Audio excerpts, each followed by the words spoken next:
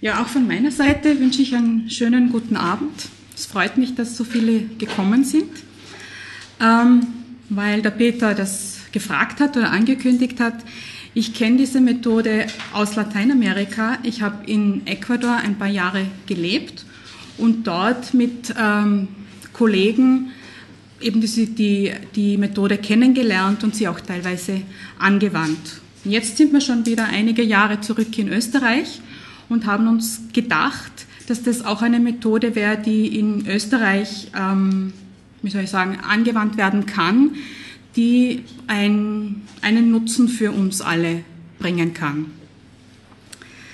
Ähm, zu meiner Präsentation, also ich habe mir das vorbereitet und ich habe das durchgedacht und wie ich das dann das zweite Mal anschaue, habe ich gesehen, dass erst relativ zu fortgeschrittener Zeit ähm, ich mit der Definition der Methode beginne. Zuerst habe ich mir gedacht, das geht vielleicht gar nicht, weil in unseren Breiten ist man, sind man, ist man handfeste Sachen gewöhnt. Aber ich habe es dann trotzdem so gelassen, weil ich denke, dass das der Methode eher entspricht. Also diese, das offen zu lassen und nicht gleich im Vorhinein die Methode in einen Rahmen zu bringen und dann innerhalb dieses Rahmens zu diskutieren, sondern sich eher auf leisen Sohlen oder in einer offenen Atmosphäre der Methode zu nähern. Was ich aber schon zu Beginn machen möchte, ist Ihnen ein Gefühl für die Methode zu geben. Und da habe ich einen Text rausgesucht von Eduardo Galeano, den ich Ihnen jetzt gern vorlesen möchte. Das Wort und die Tat waren sich noch nie begegnet. Wenn das Wort Ja sagte, machte die Tat Nein. Wenn das Wort Nein sagte, machte die Tat Ja. Wenn das Wort mehr oder weniger sagte, machte die Tat weniger oder mehr. Eines Tages liefen sich das Wort und die Tat über den Weg. Aber da sie nichts voneinander wussten, erkannten sie sich nicht.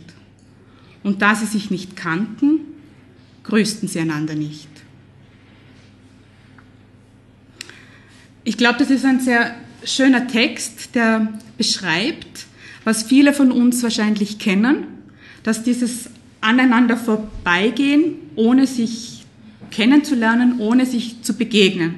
Also ich war zum Beispiel relativ oder lange in der Entwicklungszusammenarbeit tätig und mir kommt bei diesem Text dann immer diese ähm, Mikrofinanz-Frauenprojekte in den Sinn. Das funktioniert in der Theorie ganz hervorragend, macht auch Sinn, diesen Frauen einen Zugang zu Ressourcen zu ähm, zu schaffen, damit sie dann in ihr Geschäft investieren können, damit sie besser produzieren können und im Endeffekt ihr Einkommen erhöhen. Wenn man sich dann aber diese Projekte in der Nähe anschaut, dann sieht man sehr oft, dass es so nicht funktioniert.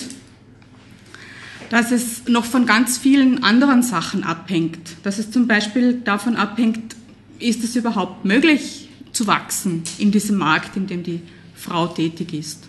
Oder wer entscheidet im Endeffekt darüber, wo, wofür diese Mittel verwendet werden? Also da tut sich ein Spalt auf zwischen dem, was wir glauben, was richtig ist, und dem, was in der Realität sich als ähm, effektiv und effizient erweist. Und genau da drauf zu schauen, das ist das Ziel der Systematisierung. Das heißt, dieses, diese Verbindung zu schaffen, diese ähm, Begegnung zu schaffen, damit wir eine damit wir, wie der Titel sagt, tun, was wir wissen und wissen, was wir tun. Jetzt aber der Reihe nach. Also ich habe für meine Präsentation das Symbol eines Baums gewählt. Ähm, zuerst möchte ich kurz darüber reden, woher das Konzept kommt. Das heißt also, was die Wurzeln oder woher die Wurzeln dieses Konzepts stammen. Dann ähm, was ist der Kern oder was ist das Wesentliche? Was macht diese Systematisierung von Erfahrungen so besonders? Äh, und wie kann durch Systematisierung von Erfahrung Wissen entstehen? Das sind also bei mir die, oben die Blätter. Und dann versuche ich auch noch äh, die Systematisierung von Erfahrungen von anderen Methoden abzugrenzen. Und das ist insbesondere die Studie und die Evaluierung, mit der sie häufig in Verbindung gebracht wird. Ja, wie ich schon anfangs erwähnt habe, das Konzept kommt aus Lateinamerika. Lateinamerika ist ein Kontinent, der seit Jahrhunderten fremdbestimmt ist. Und in dieser Fremdbestimmtheit kam es immer wieder zu den verschiedensten Krisen. Und in einer von diesen großen Krisen, von diesen großen politischen und sozioökonomischen Krisen, das war in den ähm, 70er und Anfang der 80er Jahre, entstand das dringende Bedürfnis der, der Bevölkerung dort oder der sozialen Bewegungen dort, ihre eigene Entwicklung zu verstehen, ihre eigene Geschichte zu verstehen und ähm, ihr Leben selbst zu gestalten. Und ein ganz wichtiger Vertreter dieser sozialen Bewegungen ist Paulo Freire, der ähm, durch, Alphabetisierung, durch Alphabetisierungskampagnen den Zugang zu den Menschen gefunden hat. Alphabetisierung war jetzt aber nicht sein einziges, also war ein Ziel, aber nicht das wesentliche Ziel und auch nicht das einzige Ziel, sondern was er unter Bildung verstanden hat oder versteht, verstanden hat, ähm, ist ein Dialog.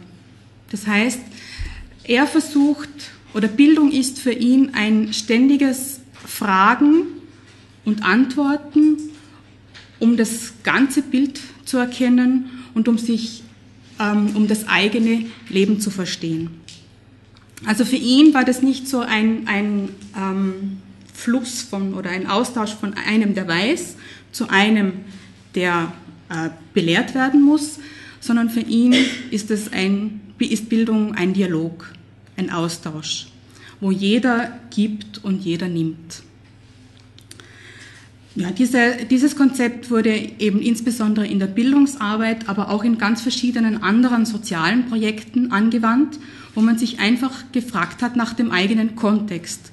Was funktioniert bei uns in Lateinamerika oder bei uns im Land oder bei uns in der Gemeinschaft? Was funktioniert nicht? Und was können wir daraus mitnehmen? Und wie können wir unser eigenes Leben gestalten? Und ein anderes Konzept oder ein, ein anderes Konzept, an das sich die Systematisierung von Erfahrung anlehnt, ist die Aktionsforschung. Ähm, also die Aktionsforschung geht eigentlich zurück auf Kurt Lewin. Schon in den 40er Jahren hat er sich damit beschäftigt, wie Minderheiten sich organisieren, beziehungsweise wie ähm, Minderheiten oder diskriminierte Gruppen Strategien der Veränderung entwickeln. Und er hat das in drei Schritten geplant oder ge gemacht in seiner Methode. Hat eine Intervention geplant, er hat die Intervention durchgeführt und dann darüber reflektiert.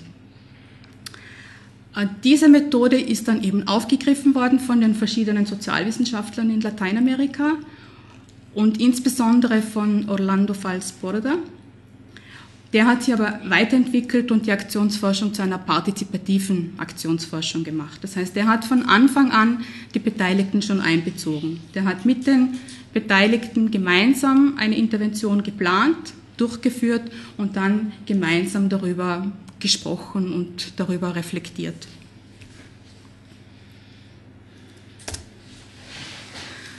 Ja, diese drei, diese drei Methoden Mm, an die lehnt sich die Systematisierung an.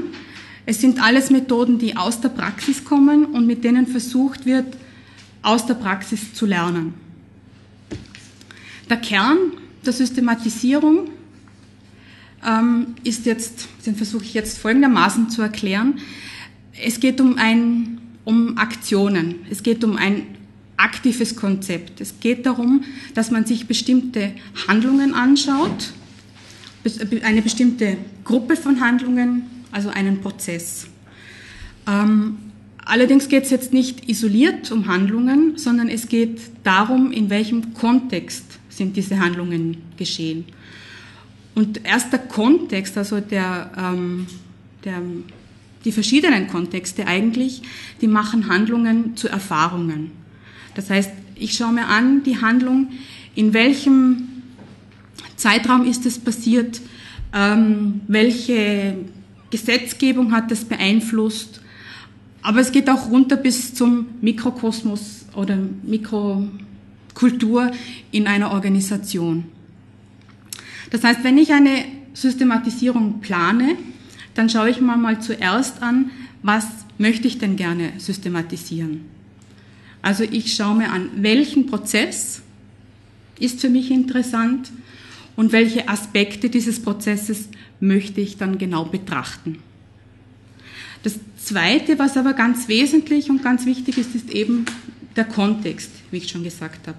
Und es kann ein objektiver Kontext sein, aber bei der Systematisierung geht es ganz speziell auch um den subjektiven Kontext. Also da geht es darum, wie ging es mir mit dieser Erfahrung?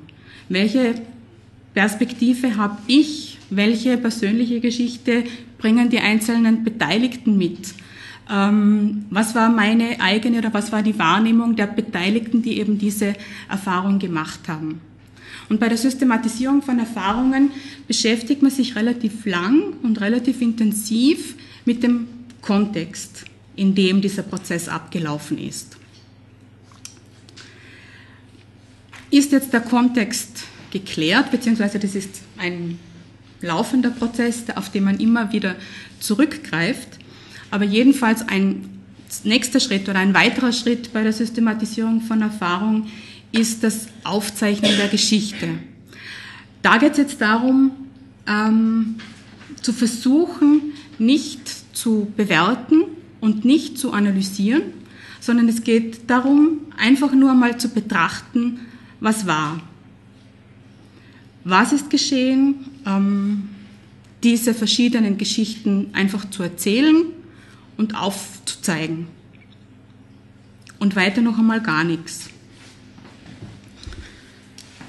Und wenn man sich jetzt diese Geschichten anschaut, dann kann man erkennen, dass sehr viel, was in diesem Prozess geschehen ist, vom Wissen und von den Kompetenzen der einzelnen Personen, die da beteiligt waren, abhing oder abhängt.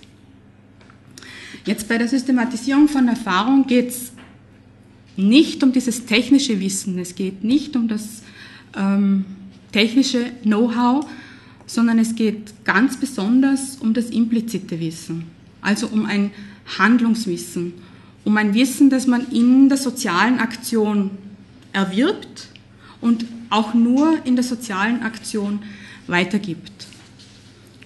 Und dieses Wissen ist sehr schwer greifbar und den Personen oft gar nicht bewusst und deshalb auch schwer artikulierbar. Deswegen ist eben diese erste oder diese, ähm, ja, diese Aufzeichnung der Geschichte, ohne das jetzt von irgendeiner Seite zu analysieren oder zu bewerten, ganz wichtig. Und erst dann, wenn man die verschiedenen Geschichten und die verschiedenen Perspektiven hat oder erfahren hat oder erzählt hat, dann machen wir einen Schritt zurück und reflektieren über das Erfahrene oder über das Geschehene. Ähm, das, wie gesagt, machen die Beteiligten selber. Sie versuchen im Prozess wesentliche Elemente herauszufinden und sie versuchen Brüche zu identifizieren. Also wo ist in diesem Prozess irgendetwas Unvorhergesehenes, etwas Unerwartetes äh, geschehen. Das kann zum Beispiel sein, dass man, ich weiß nicht, Workshops gemacht hat und dann draufgekommen ist, na, ich muss eine andere Methode verwenden, denn sonst kommt das bei der Zielgruppe nicht an. Das kann sein, dass Konflikte aufgetreten sind und dass man sich anschaut, wie sind diese Konflikte bearbeitet worden oder wurden sie überhaupt bearbeitet? Zwischen wem sind diese Konflikte aufgetreten? Dass man sich das eben so, dass man sich dem Prozess so auf diese Art langsam nähert. Wenn man den Prozess dann so betrachtet hat, dann kann man, glaube ich, schon einiges verstehen. Also dann ist es nicht mehr so ein Prozess, der irgendwie gelaufen ist, dem ich meine Meinung habe, sondern da kann ich dann auch verstehen, dass andere Leute eine andere Perspektive drauf haben und dass es eben bestimmte Gründe für Brüche oder für Änderungen gibt. Und wenn ich dann das verstehen kann, dann kann ich das auch für meine Zukunft nutzen und die Zukunft besser gestalten oder solche Prozesse in Zukunft anders gestalten. Ähm, und was bei einer Systematisierung von Erfahrungen ganz besonders wichtig ist, ist diese, diesen Prozess der Systematisierung auch mit anderen zu teilen. Also man macht es eigentlich schon für die Gruppe, man macht es auch für sich selber, also für den Einzelnen. Aber das Ziel ist jeweils, das auch einer größeren Gemeinschaft zugänglich zu machen. Weil viele Prozesse sind ähnlich, gleich ist kein Prozess, aber ähnliche Prozesse gibt es sehr wohl. Und da nützt es dann auch anderen Personen oder anderen Gemeinschaften, wenn sie sehen, was hat bei dieser Gruppe oder was hat bei diesem Prozess funktioniert, wie ist das gelaufen, warum hat es nicht funktioniert, warum hat gerade das funktioniert, dass man da dann auch für die eigene Praxis ähm, Verbesserungen erzielen kann. Dieses Teilen, das kann auf unterschiedliche Art passieren. Ähm, ich habe da ein paar Bücher mitgebracht, die ich, darf, die ich später dann noch einmal, die ich später dann noch einmal herzeigen möchte. Ähm, aber jetzt gerade in Lateinamerika, wo es ein, der ein eher oraler äh, Kontinent ist, wo sehr viel mehr erzählt als geschrieben wird, gibt es auch sehr viele Radioprogramme zum Beispiel, die die Systematisierungsprozesse aufarbeiten.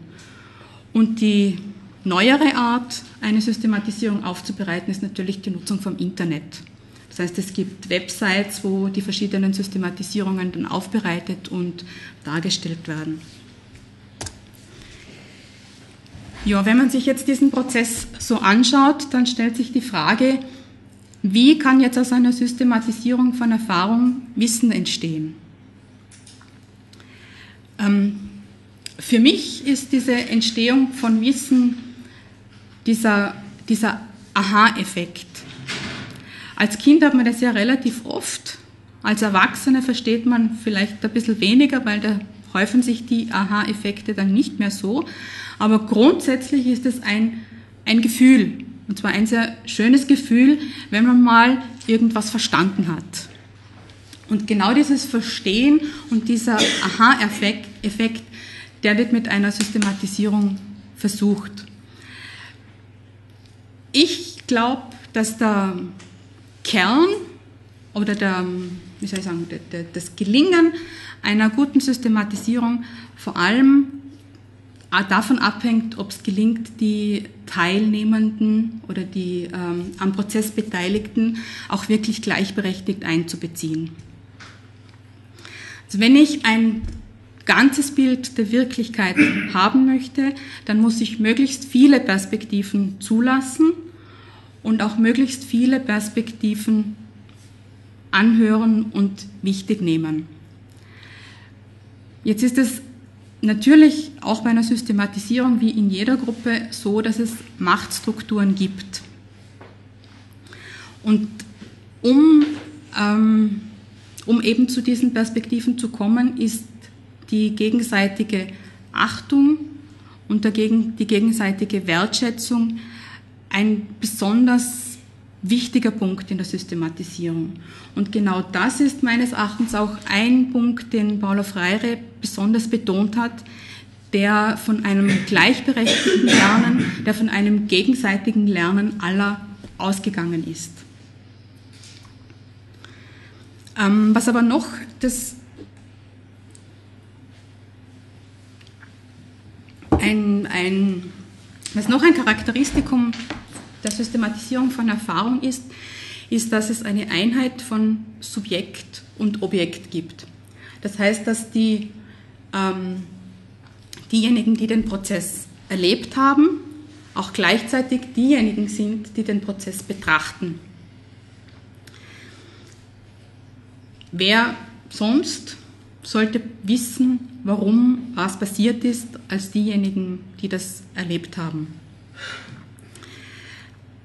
Jetzt der, die Systematisierung von Erfahrungen ist eine Methode, die ganz bewusst subjektiv auf das Geschehene zugeht und die sich erst dann in einem nächsten Schritt an das Subjektive zurücknimmt und dann darüber reflektiert. Das ist ein wesentlicher Punkt bei der Systematisierung. Ähm, es ist bewusst ein, ein, eine subjektive Methode und deswegen ist es auch besonders wichtig, dass man den Kontext betrachtet, um das Ganze, wie soll ich sagen, übertragbar dann auch zu machen. Ähm, ein nächster Punkt ist, dass mit der Systematisierung von Erfahrung die Verbindung von Theorie und Praxis versucht wird. Also wenn wir über den Prozess uns Gedanken machen, dann ähm, ist es wichtig, dass wir nicht bei vordergründigen Fragen stehen bleiben, sondern dass man tatsächlich versucht, da in die Tiefe zu gehen, dass man sich nicht gleich zufrieden gibt und auch nachhakt und nachfragt, warum ist was passiert. Es geht darum, dass man die innere Logik erkennt, sodass man Muster in Handlungsweisen ausmachen kann, dass man ähm, die Theorie, die dahinter steht, aufdecken kann. Und wenn das gelingt, dann kann äh, aus der Systematisierung von Erfahrung, aus diesem sehr subjektiven Prozess auch objektiv für die Theorie ein Gewinn erreicht werden.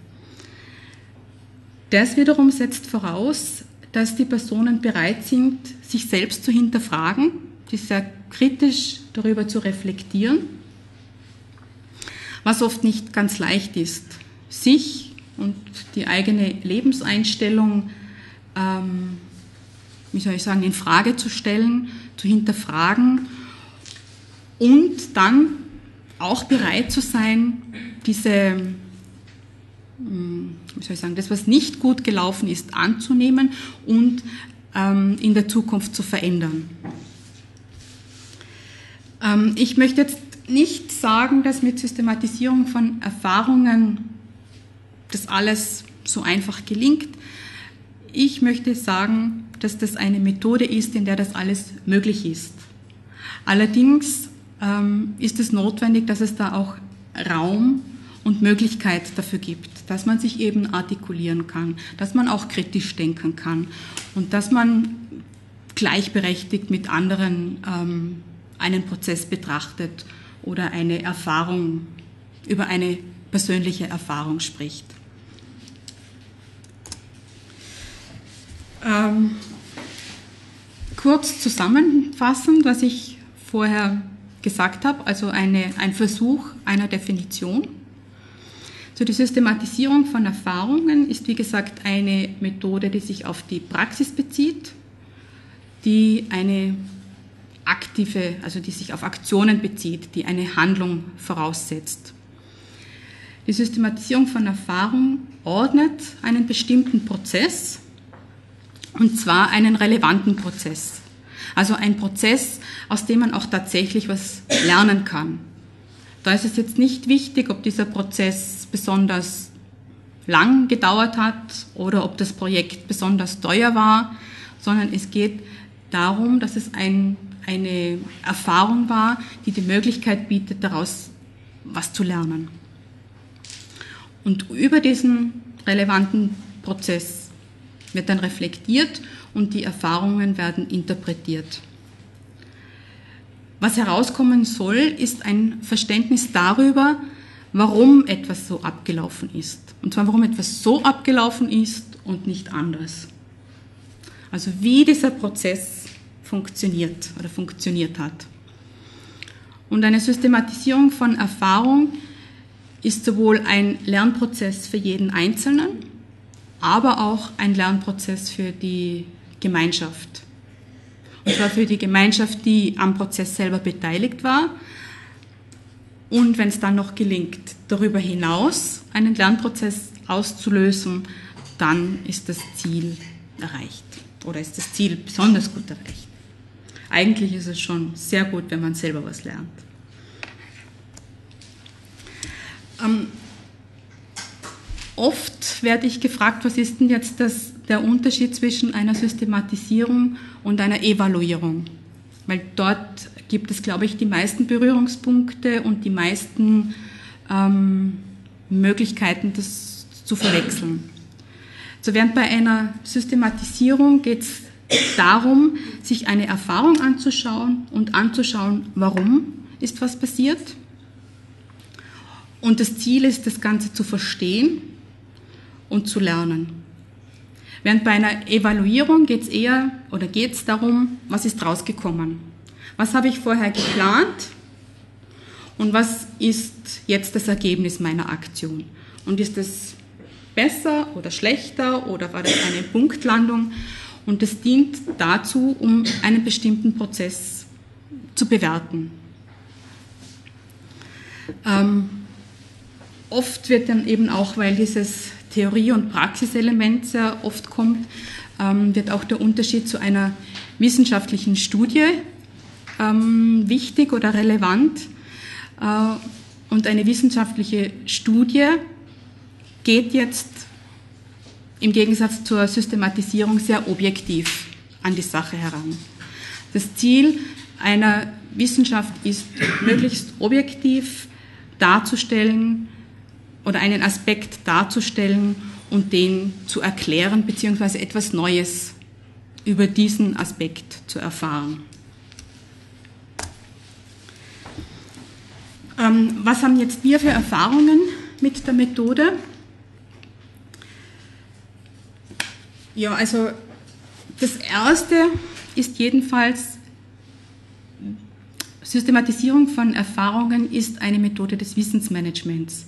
Es ist keine Methode, die ähm, allein das Wissensmanagement einer Organisation ausmachen kann. Es braucht schon einen Methodenmix, aber die Systematisierung von Erfahrungen ist insbesondere geeignet, um eben dieses implizite Wissen, das soziale Wissen äh, sichtbar zu machen. Diese, diese Art von Wissensmanagement oder die Systematisierung für Wissensmanagement hat vor allem Horizont 3000 äh, in sehr großem Umfang angewandt.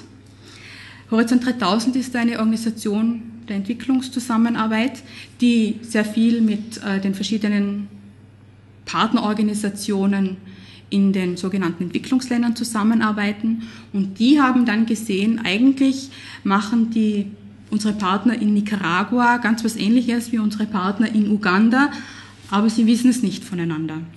Das heißt, sie haben dann in einem sehr großen, aufwendigen Prozess viele einzelne Projekte systematisiert und diese einzelnen Systematisierungen dann auf einer Website allen Partnerorganisationen zur Verfügung gestellt. Also sie, Horizont 3000 hat tatsächlich Systematisierung sehr umfangreich als Wissensmanagement angewandt. Ähm, was meines Erachtens noch ein großer positiver Punkt von Systematisierung ist, dass, man, dass es Räume der Begegnung schafft. Und zwar habe ich da jetzt ein, ein Beispiel mitgenommen. Das ist ein Buch, das herausgekommen ist bei einer Systematisierung. Ähm, das Projekt ist ein ähm, Train-the-Trainer-Projekt in Peru. Da geht es darum, Multiplikatorinnen auszubilden, die in ihrer, in ihrer Gemeinschaft äh, verschiedene einkommensschaffende Maßnahmen umsetzen sollen. Und das Projekt ist finanziert von der Schweizerischen äh, Entwicklungszusammenarbeit und von der Weltbank. Die Weltbank ist ja jetzt nicht gerade berühmt für die Basisarbeit und deswegen habe ich das eben gewählt für Schafft Träume der Begegnung, weil das eine der wenigen oder vielleicht sogar die einzige Möglichkeit war, der, der Projektteilnehmenden auch einmal mit dem Geldgeber äh, zu sprechen und denen zu sagen, wie geht es uns eigentlich mit dem Projekt oder was ist für uns wichtig und was, was spielt für uns eine wesentliche Rolle. Ähm, die für die Systematisierung von Erfahrung, habe ich ja schon erwähnt, ist der Kontext ganz besonders wichtig. Und es kann sich dann auch als Methode an die verschiedenen Kontexte anpassen.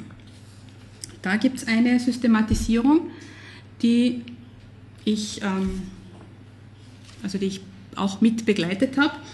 Das war in Esmeraldas in Ecuador und es ist ein Straßenkinderprojekt der Salesianer.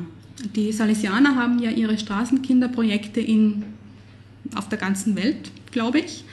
Und für diese Organisation in Esmeraldas war es ganz schwierig mitzuteilen, was denn jetzt das Besondere an ihrer Arbeit ist.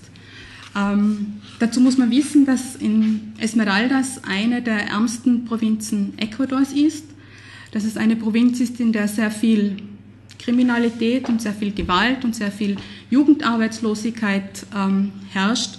Und in eine Provinz, in der ähm, die Afro-Äquatorianerinnen leben und es in der Provinz auch sehr viel Rassismus gibt. Und ich glaube, dass es mit dieser Systematisierung sehr gut gelungen ist, diesen Kontext darzustellen und das Besondere oder die besondere Arbeit in diesem Kontext auch ähm, aufzuarbeiten. Ähm, Im Moment gerade begleite ich eine Systematisierung von Trialog. Das ist eine Organisation, die sich, die sich bemüht, ein Netzwerk zu bilden zwischen NGOs in den alten EU-Staaten, in den neuen EU-Mitgliedstaaten und in den Partnerländern, also in den sogenannten Entwicklungsländern.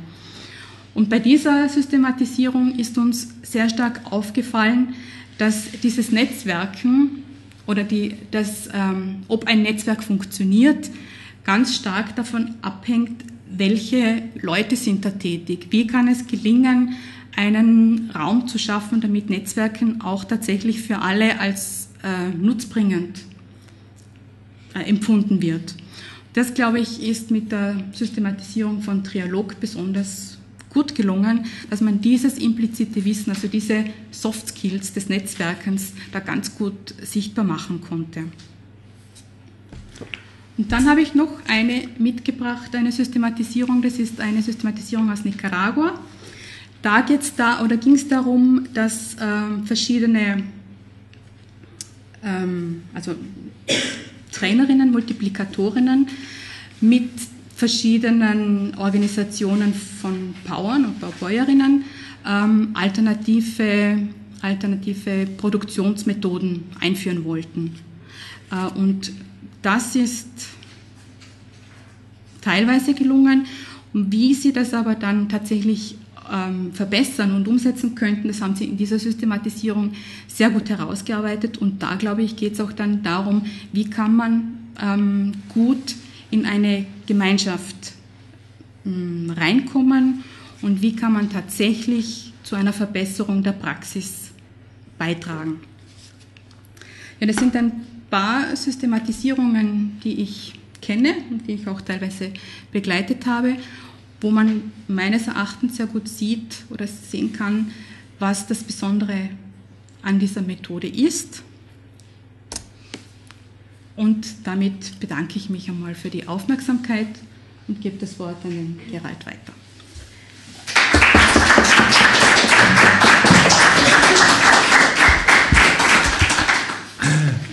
Ja, danke Elisabeth für die Darstellung von einer Thematik oder einem Zugang, mit dem du dich beschäftigt hast in den letzten Jahren, äh, der mir sehr spannend erscheint. Und was mir daran spannend erscheint, ist der Inhalt meines Kommentars. Also ich mache jetzt keinen dekonstruktiven Kommentar, um irgendwie jetzt zu erklären, was daran eigentlich eh nicht funktioniert äh, und wieso wir es anders machen sollen. Äh, und konventionelle Verfahren des Wissensmanagements überlegen sind, natürlich äh, sondern ich mache eher so eine Laudatio. Ich hoffe, das ist jetzt nicht unangenehm, ähm, weil mich das ja doch recht beeindruckt.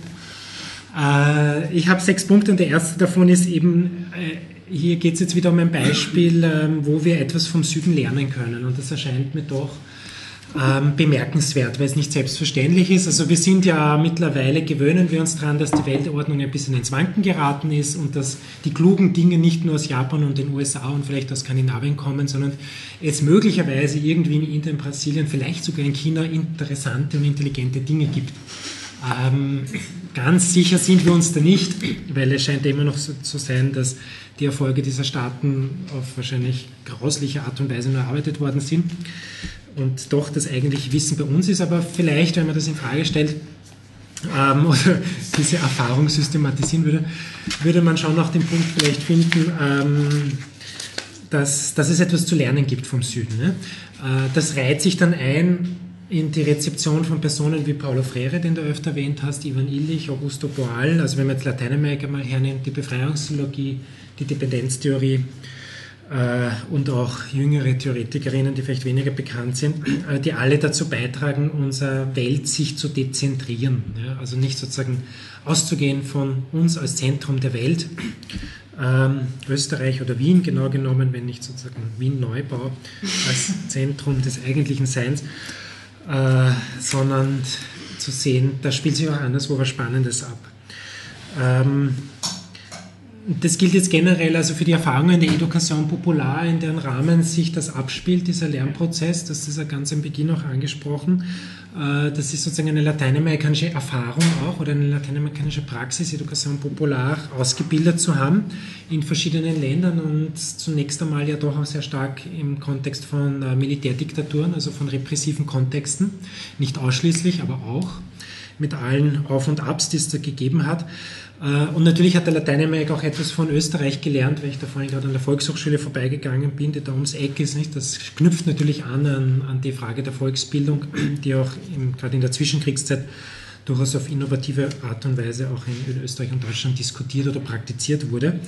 Aber die Art und Weise, wie man es dann sozusagen politisiert hat äh, in Lateinamerika, ist doch ähm, so, dass ein interessanter Rückkehreffekt zu begrüßen wäre. Und sei es in Form dieses Ansatzes, den du jetzt skizziert hast. Äh, also das ist das Lob Nummer eins, nicht? vom Süden lernen.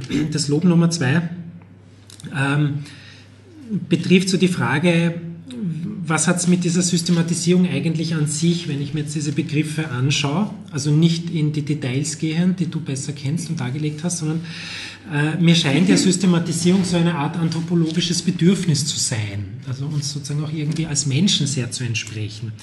Ich habe ein sehr schönes Buch zu Hause und wie viele andere der schönsten Bücher habe ich es nicht gelesen, aber ich schaue manchmal hinein. Äh, die unendliche Liste von Umberto Eco, also schön, weil es ein Bildband ist. Ähm, und ich, musste mir das jetzt wieder hernehmen, weil ähm, weil diese Fragen nach dem Listen erstellen ist ja sozusagen ein erster Schritt zu systematisieren. Ne? Äh, das, was du skizziert hast, ist ein bisschen was anders, aber vielleicht, wenn dann dein Workshop stattfindet, vielleicht entstehen ja dann die eine oder andere Liste auch. Ne? Äh, aus meiner Sicht und meinem persönlichen ähm, Alltagserleben ist es ja das Listen erstellen, das mir hilft, irgendwie die, die Unsicherheit des Alltags und der Existenz sozusagen einigermaßen zu bewältigen. Diese Frage stellt auch Umberto Eco, wieso werden in der Kulturgeschichte ständig Listen erstellt, seit der Antike im Übrigen. Und seine These ist, äh, da geht es eigentlich um nichts anderes als um Krisenbewältigung, weil wir Menschen halten das so schlecht aus, dass sich ständig alles ändert. Und vor allem in Krisenzeiten florieren die Enzyklopädien. Ähm, also in meiner persönlichen Praxis gibt es in die Zukunft gerichtet die To-Do-Listen. Also das ist der Versuch, äh, der Zukunft habhaft zu werden. Äh, ich weiß nicht, ob das bei euch auch so ist, aber eine To-Do-List ist das, was sozusagen am Tag, an dem sie umgesetzt werden sollte, hinfällig ist, weil es immer anders kommt als ähm, gedacht. Und dann gibt es die Listen über die Vergangenheit der gelesenen Bücher, der bestiegenen Berge etc. Äh, das sind so Versuche, die Vergänglichkeit des, der Dinge und eben auch der Erfahrungen äh, zu bewältigen. Jetzt ist die Frage mit Blick auf äh, diese lateinamerikanischen Erfahrungen, ob ähm, Entwicklung nicht sozusagen ein Prozess der permanenten Krisenhaftigkeit ist und daher Systematisierung von Erfahrung auch notwendig ist. Und so über die Listenform hinausgehend, nochmal mehr in die Tiefe gehend. Du hast doch anklingen lassen oder angesprochen, das entsteht in einem Kontext, in dem die Krise Lateinamerikas besonders stark ist. Ne? Viele Staatskrisen, Verschuldungskrise sich abzeichnet. Ähm, weil in einer anderen Hinsicht kann man natürlich sagen, eine To-Do-Liste oder eine Liste der gelesenen Bücher oder was auch immer Sie vielleicht für Listen führen, also vielleicht sind Sie ja listenfreie Menschen, weiß ich nicht, äh, grundsätzlich ein bürokratischer Akte sind. Ne? Natürlich suspekt, diese Akte der Selbstbürokratisierung. Und das wäre jetzt auch natürlich so ein bisschen das suspekte Moment einer Systematisierung von Erfahrungen. Ja, kann man den Erfahrungen nicht stehen lassen? Muss man denn alle systematisieren? Ne? Ist das nicht eh erst wieder sowas Eurozentrisches, sowas leicht Neurotisches. Äh, wofür soll das gut sein? Ist es nicht ein Prozess der Entfremdung, der stattfindet? Das ist nur eine rhetorische Frage, wie es eine Laudatio ist, gell? Ja, gesagt, aber äh, um das Denken doch anzuregen. Ähm, weil man natürlich solche Tools, das wissen wir auch immer, pervertieren kann. Nicht? Und da muss man, glaube ich, zeitgerechte kritischen Fragen auch stellen. Ähm, deshalb drittes Element meines Kommentars ähm, der Begriff Erfahrung. Ja? Der zweite Begriff in diesem Titel der Systematisierung von Erfahrung. Man spricht ja davon, dass, dass man aus Erfahrung klug werde. Für mich persönlich bin ich da nicht so sicher, aber bemühe mich ja täglich. Ähm, was wir aber wissen, ist, dass Erfahrung nicht im Zentrum unseres konventionellen Bildungsansatzes steht. Und das ist, glaube ich, das Interessante an diesem Zugang, Erfahrung ins Zentrum zu rücken. Wir sind sehr gewohnt, ein Bildungssystem zu besuchen, wo ja eigentlich das Vermitteln von bestimmten Inhalten, früher Inhalte, heute Kompetenzen, das Wesentliche ist. Aber die Standardisierung, äh, die sozusagen läuft im österreichischen Schulsystem, hat nicht das Ziel, bestimmte Erfahrungen zu ermöglichen. Also das ist mir noch nicht untergekommen, ne? sondern es geht um bestimmte Kompetenzen, die sozusagen beschrieben werden sollen, auf Kosten der Inhalte. Die werden in zehn Jahren wiederkehren, wenn wir wieder kennen, es fehlen die Inhalte und dann wird man zehn Jahre später wieder zu den Kompetenzen zurückkehren und das, die Pendelbewegung. Die Frage ist aber, wo bleiben die Erfahrungen? Ist das nicht das Eigentliche im Lernprozess? Ne? Ähm, aus Erfahrungen klug werden zu können. Abgrenzen kann man die Begriffe Erfahrung, den Begriff Erfahrung einerseits von Wissen, also sozusagen dieses, dieser sichere Boden, ähm, auf, dem, auf den eine Wissenschaft zu führen scheint manchmal, und in anderer Hinsicht von Erlebnis. Ja, Erfahrung ist weder Wissen, ist aber auch nicht Erlebnis. Äh, Erfahrung steht irgendwie so dazwischen. Äh, Erfahrung birgt Bewegung in sich das ist ja das Schöne, dass in Erfahrung auch das Fahren drin ist. Also sitzend erfährt man nicht, also falls Sie glauben, Sie haben heute Abend etwas erfahren, nein, Sie sitzen, Sie erfahren nicht, müssen Sie sich schon in Bewegung setzen. Also wenn Sie hergefahren sind und zurückfahren, dann steigen die Chancen. Also du bist nach Lateinamerika gefahren. Ähm, das kann man jetzt als Wortwitz nehmen, aber was ich damit meine, ist, dass dieses sinnliche Element ganz was Wesentliches ist. Also dieses, äh, wir, wir, sind, wir sind Menschen der Sinnlichkeit, wir, sind, äh, wir, wir, haben Anteil an der Natur, wir sind nicht rein geistige, rein intellektuelle Wesen. Ähm, Erfahrung transzendiert das rein kognitive. Und deshalb erscheint es mir bedeutsam, an diesem Begriff anzusetzen, oder an dem, was eigentlich Erfahrung ausmacht als ein Schritt zur Weisheit. Ja, von dem könnte man vielleicht auch Erfahrung noch abgrenzen. Erfahrung ist noch nicht Weisheit, deshalb soll sie auch systematisiert werden. Und da komme ich viertens jetzt zu einem Bezug zu Paulo Freire äh, mit dieser Frage nach der Sinnlichkeit äh, und dem Transzendieren des rein kognitiven oder des rein intellektuell äh, benennbaren. Wikipedia hat mich auch aufgeklärt darüber, dass äh, Erfahrung etwas ist, was die Wissenschaften als Empirie bezeichnen. Ich glaube, hier irrt Wikipedia wie manchmal. Äh, ich glaube, das ist schon was anderes, was gemeint ist. Und auch Freire meint, Paulo Freire, äh, dass es im Lernprozess des Menschen um etwas anderes geht, als sozusagen die empirische Überprüfung von Wirklichkeiten. Ne? Weil Freire ist eben kein Empiriker. Paulo Freire hat von 1921 bis 1997 gelebt, um kurz diese Fußnote zu machen und vielleicht nicht allen Paulo Freire, hier ist ein Konterfei von ihm, so bekannt ist, in Brasilien als Volksbildner, ist geflüchtet äh, oder musste das Land verlassen unter der Militärdiktatur, die 1964 in Brasilien die Macht ergriffen hat und hat dann Zeit gehabt, ja, dank der Vertreibung, zu systematisieren, was er erfahren hat, nämlich wie alphabetisiere ich oder wie hat er es gemacht, äh, vor allem die analphabetische Landarbeiterinnen, Landbevölkerung, Land, Landarbeiter, die in Unterdrückungsverhältnissen eingespannt waren, vor allem für die Zuckerrohrproduktion oder andere landwirtschaftliche Tätigkeiten. Äh, und sein äh, Zugang zur Alphabetisierung war ja, dass es nicht nur darum geht, Buchstaben lesen zu lernen, sondern die Welt lesen zu lernen. Und die Welt heißt das, was über die Erfahrung auch hereinkommt, über die Sinne hereinkommt. Das heißt etwas durchaus Sinnliches, ähm, etwas Praxisbezogenes ähm, mit Struktur zu versehen ja, und dem dieses, dieses hinfällige, zufällige ähm, oder auch ähm, determinierte zu nehmen, ne? dass die Menschen nicht ähm, ein Stück soll man sagen, ähm, Schicksal sind oder wie das Wetter sind, sondern Teil der Geschichte sind, Subjekte auch sind.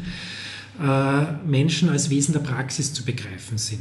Und das steckt eben hinter diesem Ansatz auch dahinter, dass jene, die sich an einer Systematisierung der Erfahrungen beteiligen, sich selbst als Menschen, als Wesen der Praxis und als gestaltende Wesen ihrer eigenen Praxis und damit als Herren und Herrinnen oder Herrscherinnen ihre eigenen Geschichte auch äh, verstehen und entwerfen, ja, sozusagen zum Projekt ihrer selbst werden können.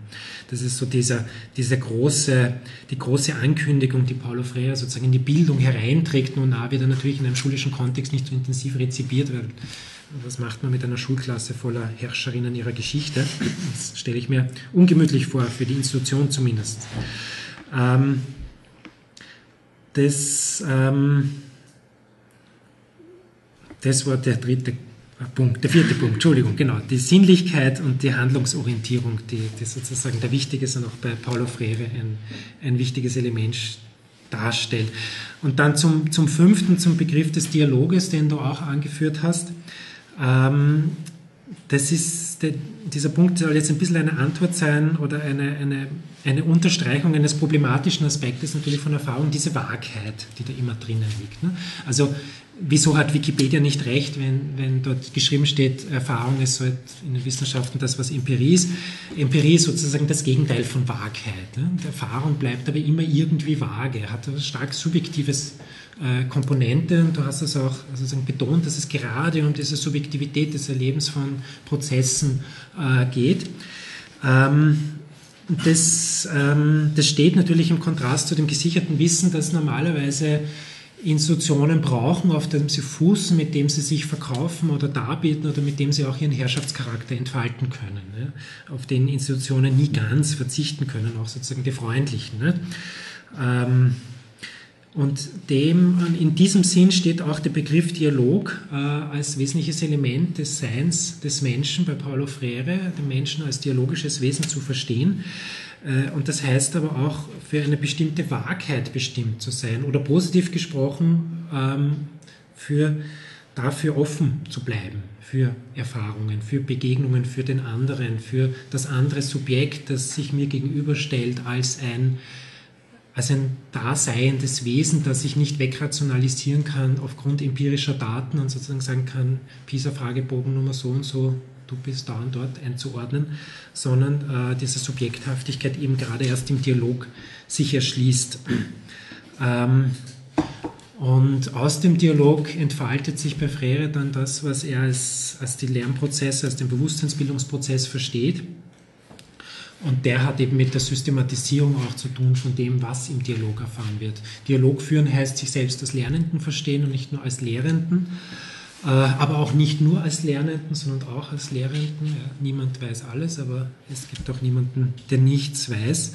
Äh, und um da sozusagen auf eine konstruktive Stufe zu kommen, braucht so etwas wie auch eine gewisse Systematik darin oder eine, eine, ähm, eine Verschriftlichung, eine Benennung, eine Begrifflichkeit. Und deshalb ist auch die Alphabetisierung äh, nicht ein Spleen von irgendwelchen Volksbildern, sondern ja auch ein, ein Schritt, ähm, sich als Kulturwesen gestalten zu können, weil es mit Alphabetisierung, mit Begriffen auch gelingt, die eigene Existenz zu benennen. Oder organisationsprozessmäßig oder im Sinne von eher lernenden Organisationen gesprochen, äh, wenn es gelingt, innerhalb solcher Prozesse Erfahrungen zu benennen, ja, zu systematisieren und auf den Begriff zu bringen, äh, dann ist man sozusagen nicht nur dem Schicksal der Gruppendynamik unterworfen oder dem Schicksal der äh, Stakeholder ja, oder wenn es Shareholder sind, gibt es ja auch in Organisationen, denen man sozusagen hilflos unterworfen ist oder wie es aus NGOs kennen, äh, dieses ähm, der Habitus der hechelnden äh, NGO-Mitarbeiterinnen, wir haben alle zu viel zu tun und keine Agenda, die uns Luft lässt, vor allem nicht für Lernprozesse. Ähm, das ist kein Schicksal. Nicht? Also man sagt ja in der entwicklungspolitischen Bildungsarbeit oder hat man in den 70ern formuliert, Hunger ist kein Schicksal, Hunger wird gemacht. So ist es ja auch mit diesen, dieser Zeitnot. Zeitnot ist kein Schicksal, Zeitnot wird gemacht. Äh, und für eine Systematisierung kann auch ermöglichen, solche Orte zu finden, wo Räume für Reflexion auch sich öffnen. Und damit zum letzten Punkt, zum sechsten, ähm, zu den Grenzen des Konzeptes. Äh, ich denke, über die lohnt sich wahrscheinlich jetzt auch die Diskussion zu führen oder wäre eine, eine Frage, die, die mich auch beschäftigt hat in der Vorbereitung. Ähm, es gibt sozusagen eine Grenze, die, die sich aus der, ähm, aus der Widerständigkeit des Gegenübers ergibt und ähm, die man vielleicht jetzt